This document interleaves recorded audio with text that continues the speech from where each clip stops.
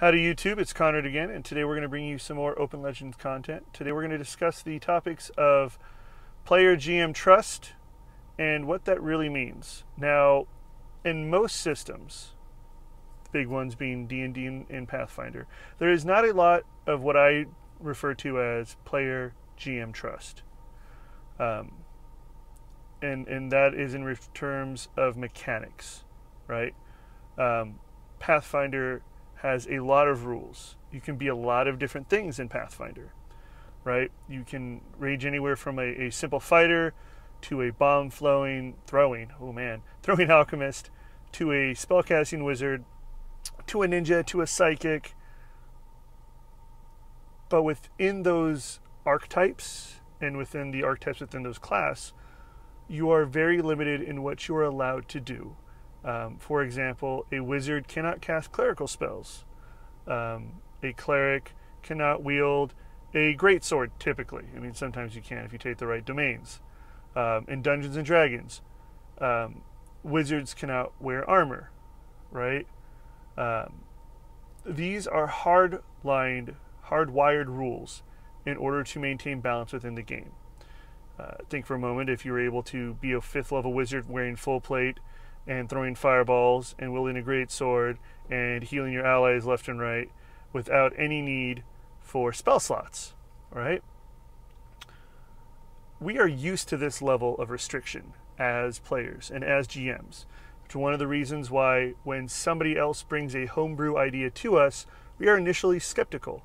We don't have the trust that this person is going for balance, that they are having our game's best interest at heart.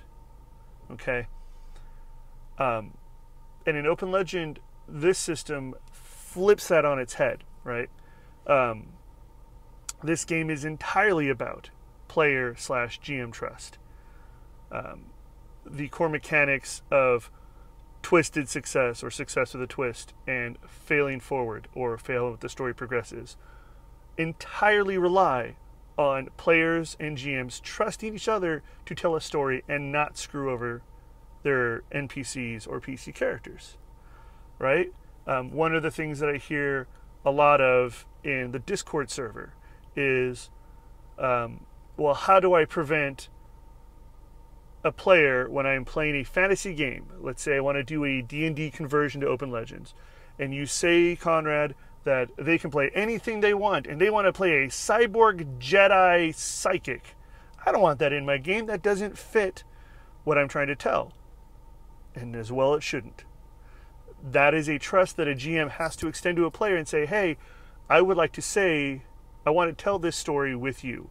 Within this story are certain parameters that need to be met. Um, for example, we're not doing laser guns I trust you as a player to not throw laser guns in the middle of my goblin infested dungeon. On reverse, let's say you're playing a modern game. I, as the GM, say, There's no magic. I'm trusting that you, as a player, are not going to make or try to enforce against me a, a magic fireball throwing teenager. The rules allow it, but we have to have that level of trust in order to tell the story we want to play, right? Um, most set, most games, um, when you do homebrew stuff, it's hard to maintain balance. It's one of the reasons why we don't like it. And I keep coming back to homebrew because it's where all that trust needs to be. Right? We don't trust each other typically to not make an overpowered or broken character. Um, and most systems account for that. They don't allow you to do it. It's not in the rules, therefore, you can't do it. Um, it's one of the reasons why GM's Guild for Dungeons and Dragons is doing so well, um, is because people want homebrew options. And we're not, as at this point, a lot of people are not super happy with being confined to a set stricture of rules, and that's fine. If you really like a lot of rules, great. If you don't like a lot of rules, great. Um, player GM trust also extends to storytelling. If I come to your table and you're my game master, I trust that anything that I bring to the table will go through the filter that is you. Now, what I want to have fun may not necessarily be fun for anybody else. And if my fun takes away from everybody else's fun, my fun has to come second. As a player, I trust you as a GM to have that same baseline for everybody else. And you as a GM are trusting me as a player to not screw with your game. Okay? And if you're another player at my table and I'm gaming with you, you are trusting me from player to player that we aren't going to try to screw each other's night up or day up or whatever we're doing. Um, so, in Open Legend, it comes down really to common sense. Okay? And in the Discord servers, we we say that a lot. Okay, on the Discord server that if it makes sense, you can do it. If it doesn't make sense, don't do it, right? Don't allow for things if you're the game master. Don't try to push for things if you're the player. Right? If in your world there's no dinosaurs and you as a player try to come to the table with a dino rider with you know, miniguns on his head and rocket launchers on his back, as the GM get a look at you and say, uh, really, dude? Uh, that doesn't make any sense, right? Take the inverse. Let's say we're playing in a, in a world of Eberron, right? And in Eberron, halflings ride dinosaurs if they're on the Talenta Plains. Now, let's say I want to make a Beastmaster kind of character and I come to the table with my naturally made character. You know, I, I say that I'm short, um, I've got a hot temper, uh, I wear light armor, and I'm riding a velociraptor. Now we're in Eberron, and we're based around the Talenta Plains. And you, as a GM, look at me and go, "Really, dude? We're not doing we're not doing dinosaurs this time around." I can look at you as a player and say, "Hey, it makes sense for the world that I'm in.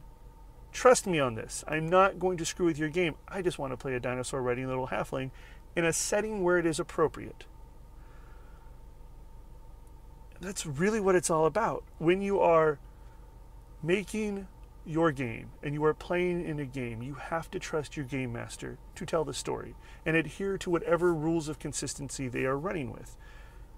And if you're being a player, you have to maintain that level of trust with the GM on your end too. You're not going to go out and say that, you know, your ice wizard suddenly starts teleporting and throwing fireballs because, you know, you're going up against a, a an ice drake and fireballs would make more sense. Um, there's not a whole lot more to do in this one. Player GM trust is crucial to every game most systems strip you of it by having really strict rules. Open Legends, Open Legend, there's no S at the end of it. Open Legend is the first system that I've seen that forces the player and the GM to tell the story at the same time. In Dungeons and Dragons, by and large, this isn't a a flat cross the board rule. It is mostly up to the DM to tell story, right? Um, if I bring a dwarven fighter, I just have to worry about my dwarven fighter. Dungeons and Dragons doesn't really reward me for helping other folks. I might get some more experience, but again, that's the the game master's purview. Um, in Open Legend, because of how Banes and Boons and Success with a Twist and Legend Points and the level of, of GM and player trust that is required to run the game where everybody has fun is so much higher, um, it it it takes a different level of play that we're not typically used to, and that's okay. Right? Trusting your players, trusting your GM. Yeah, they may come to you with a really wacky idea that seems kind of overpowered or seems like it doesn't quite fit the setting. Sit down with them. If you're the player, say, hey, I really want to run a a cyborg shooting guy in a fantasy game, you know, with with a rocket arm and a sword arm, and that sounds cool to me. as a GM go, hey, all right, man, that, that doesn't doesn't really fit the story I'm looking for. Okay, so let's let's talk this out. Right? You want to play Cyborg Man. There's not really Cyborg Man Cyborg Man in my game. But what if there's a group of crazy wizards that are really into melding constructs with humanity? Like they think they've got this transmutation thing down. And they start making man construct hybrids. Well, maybe that would work, right? Shooting arcane blasts out of one arm, using a plus uh, a magical longsword as your other arm, and you you take the uh, you know take some defensive feats, and suddenly your game is so much more different, and you've grown story because you trusted your player because you trusted your GM, because you trust other players, your game will become better. Remember that you are not the only person at your table. You are not the only one at your table looking to have fun. Everybody is looking to you, whether you are a player or a GM. There are other people at that table with you who are looking to you to make their gaming experience just as enjoyable as you're hoping to have. That's all I've got for today. This has been the Grumpy Grognard. Remember to like, subscribe, and share, and stay tuned for more Open Legend content. Thank you, and have a great day.